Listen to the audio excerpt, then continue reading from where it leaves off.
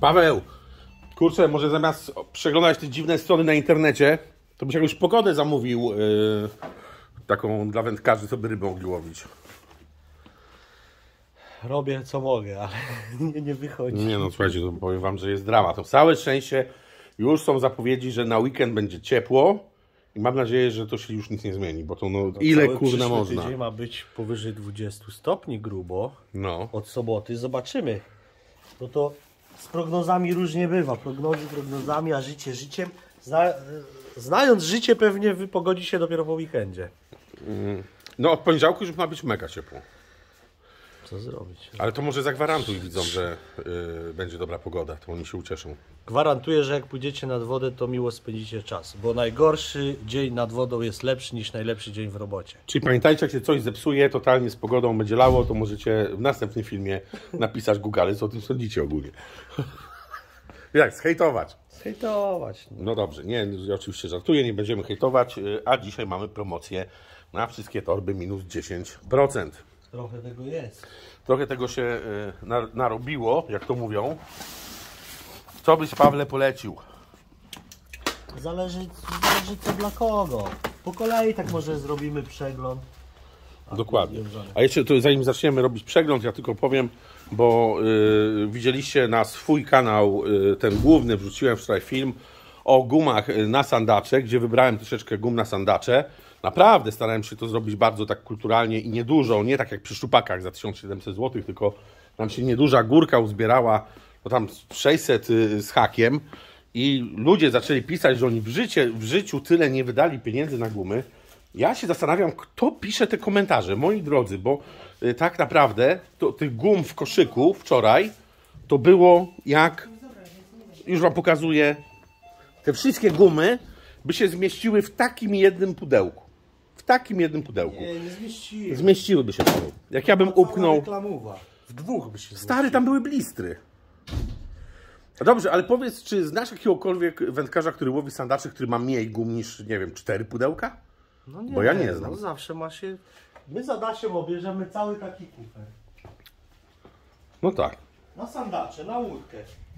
Cały taki kufer. Jeden, ku, jed, jedne, jedna, cztery pudełeczka. Jedno pudło to są główki dźwigowe, trzy pozostałe z No dobrze, ale tu po, jeszcze jedna rzecz. I to, i to jest się, taki niezbędnik, trzy ale zało... żeby, tak, ale żeby- masz te gumy przebrane i tak, a w domu masz pewnie dużo więcej. No w domu tak, sobie dobieram jeszcze co tam chcę wziąć ze sobą, to z domu wyciągam. Ale taki zestaw na krypę, na sandacza, żeby sobie wypłynąć i pokombinować różnymi gumami, to w, w, tej, w tym kufrze je- jedna, mm, jedno pudło jest z główkami, trzy z gumami. Ja naprawdę, bo ja już zaczynam mieć wyrzuty sumienia, że ja tu ludziom coś, nie wiem, wciskam i upycham. Ale z drugiej strony, no mówię, ja nie, nikogo nie znam, kto by miał tych gum mniej. To mówię, kto to te komentarze pisze? Nie wiem. Jak myślisz? E, Ale nie, bo nie- niektórym może się wydaje, że jak ryba bierze, to jedna guma wystarczy. Faktycznie. Ale tak czasem jak, jest. Jak ryba Oczywiście. jest w dobrym gazie, to jej nie przeszkadza hałas, harmider, nie zważa na kierunek wiatru, ciśnienie, fazy księżyca, tylko ładuje we wszystko, Dobrze, co jej ale przy sandaczach, Ale jak przy nie jest, sandaczach, nie jest w gazie, to wtedy zaczynają się schodki. ale inaczej. trzeba- Sandacz jest akurat tak specyficzną rybą, że, na, że faktycznie ona czasami jest w gazie, ale bierze tylko na tą jedną gumę.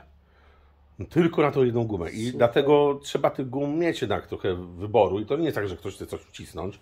Je, jeżeli by to tak było, że wystarczy nam jedna, dwie lub trzy gumy e, na wypłynięcie, czy na pójście na pół dnia, czy cały dzień po, połowić sobie sandaczy, to na przykład dla porównania zerknijmy sobie na zawodników, którzy startują w zawodach i mają całe łódki zawalone różnego rodzaju Ale to nie, to zawa- zawodników to nie mieszajmy, bo Nie, oni są chcę- akurat to- specyficzni. To, tylko no. może nam pomóc zobrazować sytuację, że to jednak ma znaczenie. E, kolor gumy, długość jej praca i zawodnicy starają się za wszelką cenę, żeby podczas...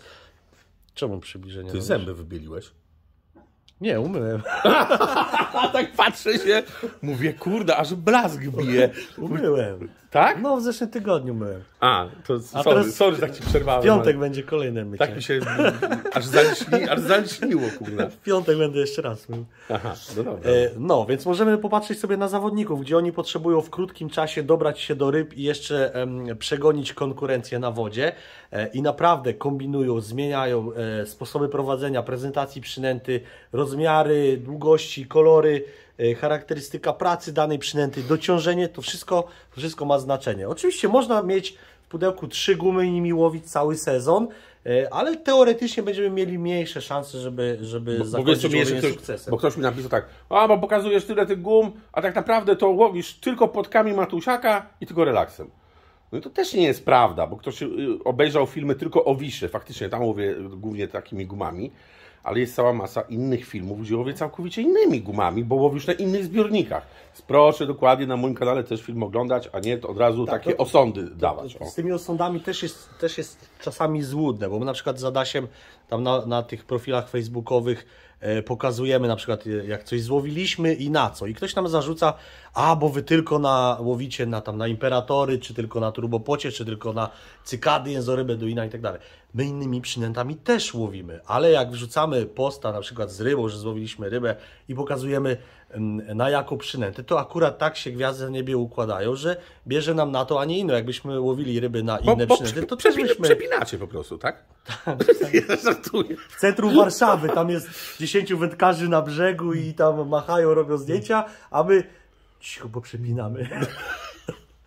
Dlatego, moi drodzy, właśnie powstało takie fantastyczne urządzenie, które nazywa się GoPro, które ma te cofnięcie o 30 sekund, że może nagrać branie cały hol i rybę z przynętą w pysku i już się oszukać nie da i to jest piękne. Bo to, że co niektórzy przepinają, to my wiemy o tym i sobie zdajemy z tego sprawę. Oczywiście. Dlatego Ale ja- to bardzo nieładnie, nie Ja nie oglądam YouTube'ów wędkarskich. A ja oglądam. Ja oglądam na przykład głównie Eee, a takie ci powiem, kanały. że kilka razy za, zauważyłem to, bo e, zwykły widz może pewny, A ja na mówię o pewne Facebooku. rzeczy... Ja mówię o, o Facebooku Znaczy- i zdjęciach. A no, a w- o Facebook, na w Facebooki w ogóle nie wierzę.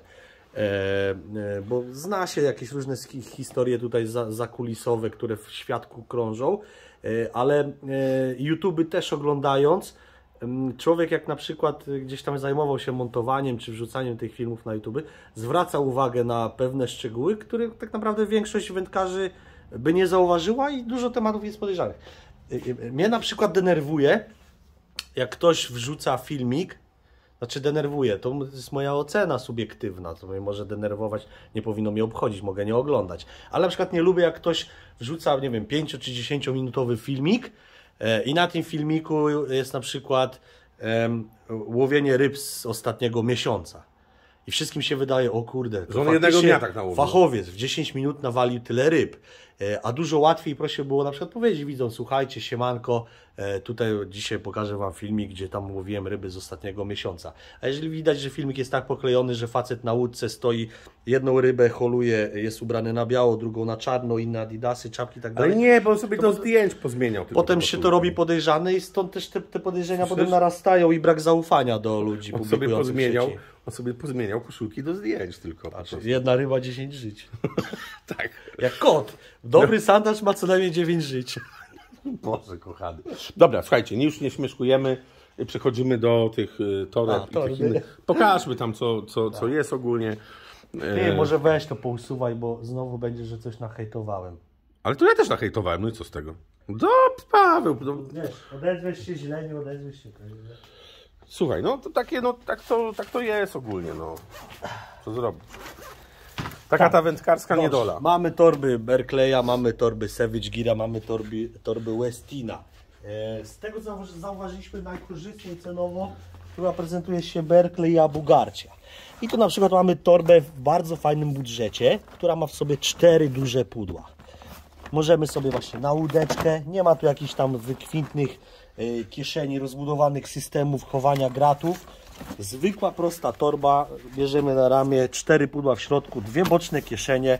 Też w zupełności sobie tutaj wszystko, co jest nam potrzebne do łowienia, do łowienia zmieścimy. Nie, nie, nie są to torby nieprzemakalne, powiedzmy nieco bardziej odporne na deszczyk, ale jak będziemy to mieli na łodzi e, w burzy, to troszeczkę nam tam może, e, może przemoknąć. Nieco mniejszy model od Berkeleya, e, powiedzmy taka średnia, średnia torba czy mniejsza. One też w większości przypadków mają już sobie pudła. Bardzo często możemy to zweryfikować, ile na przykład kosztują cztery gołe pudła. E, a jeżeli to bierzemy w zestawie z torbą i te pudła są w środku, to często opłaca się dopłacić te parę groszy e, i mieć tą torbę e, e, nie, dopłacając, tak jakby w, no prawie, że, prawie, że w gratisie? Bo wychodzą podobne pieniążki, jakbyśmy osobno cztery pudełka kupowali, a torbę w zestawie. A i tutaj To jest, jest argument, faktycznie. o, Na kanapkę. to na kanapkę. Albo to na jest taka- fileciki takie już na, fileciki, tak, i tutaj termiczna, także może filet pół dnia leżeć na słońcu, bo tutaj y, to zabezpieczenie termiczne nam powo- spowoduje, że się nie zepsuje, go dowieziemy w dobrym stanie do zamrażarki. Bolenia. Bolenia. Zielonego. E, Dalej sobie przejdziemy też ciekawe torby, ładnie wyglądające od Abu Garcia. Też taki średniaczek. Od góry tutaj mam na przykład trzy pudełka. Boczne kieszenie.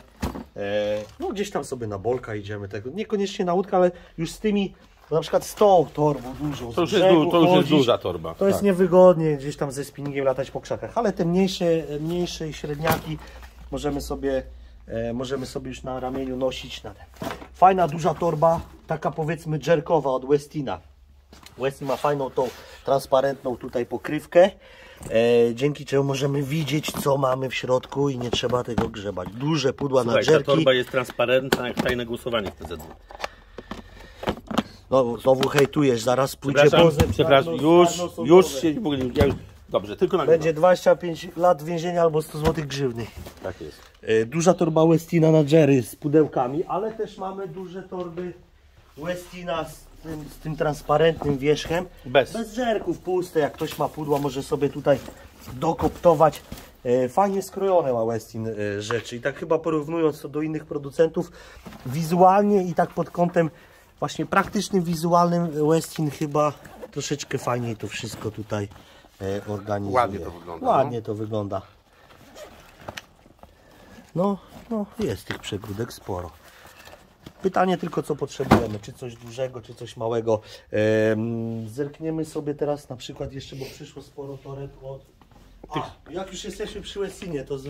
jeszcze zostajmy na chwilę. Torby nieprzemakalne. E, nieprzemakalne, wodoodporne, możemy tu sobie na łódkę napakować, na przykład, nie wiem, wypływamy na weekend, dużo odzieży, jakiś Tu gratów. naprawdę, tu się nawet jedna laska mieści. Tak, laskę tu pakowaliśmy, wchodził do tego bez problemu, także jak, jak macie potrzebę żonę kochankę zabrać, żeby jej nikt nie widział, Spakować. spakować ją tutaj możecie. O, Savage Gear, dzień dobry. No, co on tu się schował, tak? No, kolaborują tu coś razem. e, I co ciekawe, możemy sobie tutaj e, odessać powietrze, Powietrze żonie. zro, zro, zrobić jej podciśnienie, żeby mnie miejsca w bagażniku zajmowało. E, więc tych rozmiarów, o, o, widzicie, takiego wielkiego, poprzez takiego średniaka, e, tutaj już mamy też średniak, taki kufer, e, no i plecaczki, jak No. ktoś lubi sobie brodzić, czy Plecaki właśnie, są kozak, naprawdę. czy tak, gdzieś tam za pstrągami chodzić, e, takie wyprawy piesze, e, to tutaj całą elektronikę możemy wrzucić, wszystko co jest nam potrzebne, na pewno w tym nie zmoknie, bo to jest w 100% wodooszczelne. Ty, a ciekawe czy taka, bo wiesz na co tu wpadłem, bo y, mnie na przykład dwa lata temu, jak wtedy byliśmy na spójni, Ale też o tym mówiłem, że, Bo, bo mnie woda, woda mnie poniosła jakby się ktoś wkąpał, to sobie tam na tym może, no nie jest to e, element Znaczy pytanie, czy pakietu tu się, ratunkowego, czy tu się nie? bańka zrobi, wiesz chodzi? Ale można się poratować, tak, ja to sprawdzałem, więc jakby się ktoś wkąpał, to sobie na tym, na tym baniaczku może próbować ratować życie, czego nikomu nie życzymy. Nie, broń Boże. No i tu więcej tych średniaków od Westina w różnych konfiguracjach, większe, mniejsze, e, wszystkie są z pudłami. Wszystkie są z pudłami. Tak. Cztery pudełka. O, pam, pamiętamy, że tego się nie je. je, nie, tak, tego nie się nie to trzeba wyrzucić do śmieci. Tak. Westin, No Westin. to dobrze, to E, z planu jeszcze nam zostało kilka toreb też ciekawych z Tak. dwoma pudełeczkami. Znane i lubiane.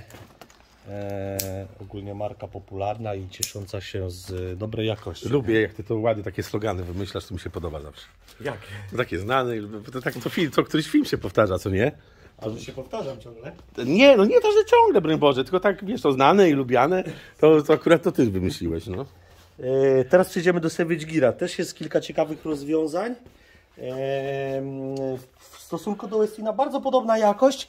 Na pewno kolorem się różnią. Też No trzeba tak. wziąć pod, pod uwagę to, że Czyli wiem, mnie się brudzą ogólnie. Nie się brudzą, jeżeli ktoś tam lata za sumami, ma non-stop zaszlamioną krypę, e, bo się dużo na niej dzieje, to może trzeba się zastanowić nad tym, żeby wziąć Tu ciemniejszą jest fajne torbę. rozwiązanie z tym pokrowcem. Dokładnie. Tu mamy dużą taką torbę poziomą, e, gdzie mamy trzy duże, takie trzy głębokie pudła dżerkowe w różnych konfiguracjach przegródkowych. Akurat mam tą torbę fajną. Tak. Tu mamy na filety dużo miejsca i jakby padało, to możemy właśnie sobie Zakapturzyć. takie prześcieradło nałożyć, nieprzemakalne na nią.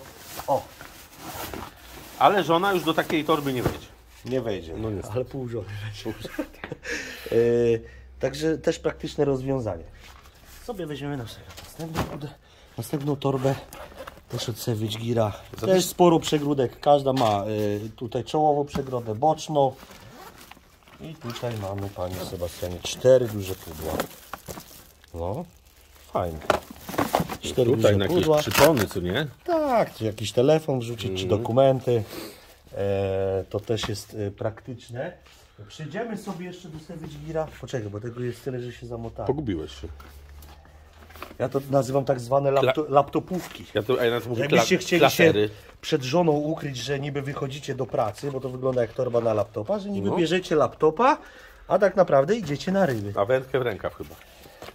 Jak ktoś ma travelera, to w gumaka może schować. E, najmniejsza z nich, No, klaser, Klaser. klaser. Tak jest. coś Czekaj, wypadło. Coś tu lata. O, Pasek wypadł. pasek do laptopa. I tu mamy pudełko. Też fajne. Czyli takie ergonomiczne rozwiązanie, niepozorne wrzucaj tu do Opa. środka. Tyk. To jakoś się powinno... A, to się na rzepę spina. O. O. Tak i na ramię zakładamy, idziemy na ryby. Większa laptopówka. Też tak samo jak w poprzedniej torbie, tylko rozmiar, rozmiar większa jest. Klasery, jedno pudło składamy pod pachę i na ryby. E, No i tu jest najciekawsza z nich wszystkich laptopówka, bo jest To już taka taka, obszerniejsza. no, tu dużo więcej nam towaru wejdzie. Nieco praktyczniejsza w rozwiązaniu, bo sobie ją możemy tak pionowo ustawić. Te już musimy, te dwie pozostałe musimy położyć gdzieś, albo na łódce, albo na kamieniu sobie rozłożyć. Ta nam będzie tak w pionie stała i tu mamy duże pudło dżerkowe i duże pudło na gumy, na główki, gotowe inne, inne graty. Te, też tych przegródek jest sporo. Na telefony, dokumenty. Tutaj jest bardzo ciekawa torba wędkarska. Na kanapki albo filet. No tak, albo filet. Tu możemy sobie nalać wody, zamrozić to. Przez jakiś czas będzie nam trzymało No, co by niską nie temperaturę w piwo środku. będzie chłodniejsze po prostu. Tak, ale nie polecamy spożywania alkoholu Nie, na nie, wodzie. nie, Bezalkoholowe piwko, kole, oranżadę, wodę możemy tu schłodzoną mieć. Upały będą się nie, niebawem pojawiały w naszej No miejmy nadzieję, Paweł, miejmy nadzieję, w naszym klimacie, więc warto mieć coś chłodnego e, na krypie ze sobą. A ja tylko tak co, przerwę, bo tylko pokażę, że znowu przyszły... A, o, już się skończyły? Nie. Knajty? Są jeszcze knajty boleniowe. Któryś kolor już wywiało. No to no, jak już te knajpy tak szybko schodzą. Nie wiem, czego. Wszystko mamy w sekciu? Chyba tak, Pawełku. To co, możemy jeszcze zhejtować kogoś. Na kogo masz pomysł? Nie. Kogo byś zhejtował dzisiaj, powiedz mi? Ja zawsze. A mogę coś dobrego o kimś powiedzieć? O, o co? Coś dla odmiany, no. Też nie mam na kogo. Słuchajcie, moi drodzy, dlatego e, chyba tym e, pozytywnym akcentem będziemy już dzisiaj e, kończyć. Ogólnie, no, no nie wiem, Paweł, czy... Jakoś dziwnie ostatnio te nasze programy się kończą. Czymś miłym zakończyć. Może Ciężko laskę, laskę może pozdrów. Pozdrawiamy Marcinka, który pomaga teściowi w remoncie e, nowego domu. I tam Marcin będzie miał właśnie z teściem robią kantorek na wędki i sprzęt wędkarski, także trzymamy kciuki, żeby robota szybko szła, no i żeby Marcinek jak najszybciej wrócił do nas, bo w tym tygodniu go nie ma, musiał się zająć e, remontem, ale niech wraca jak najszybciej, bo Boży sklep i Boży wędkarze na niego czekają. Marcinku, ja też się pozdrawiam i bardzo Ci dziękuję, że akurat ten remont robisz w takim tygodniu, kiedy jest zimno i pada, bo, muszę, tak, bo tak. przychodzę za Ciebie, a już jakby był słońce i ten, to, to byłbym bardzo taki Tak. Sebastian godnie Cię zastępuje. Trochę leniwy, ale trochę pracowity. Dziękuję, Paweł. Dziękuję. Dobrze, i tym pozytywnym akcentem kończymy, moi drodzy. Do zobaczenia, trzymajcie się na razie. Cześć.